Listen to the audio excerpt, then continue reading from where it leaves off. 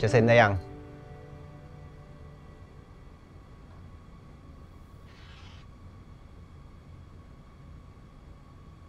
ให้ผมเซ็นออกกับพี่ ใช่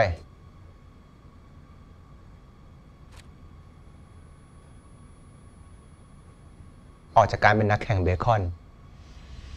แล้วมาเป็น brand ambassador ของเบคอนยังไงล่ะครับน้องยินดีต้อน รับแบรนด์แอมบาสเดอร์คนใหม่ของเบคอนโต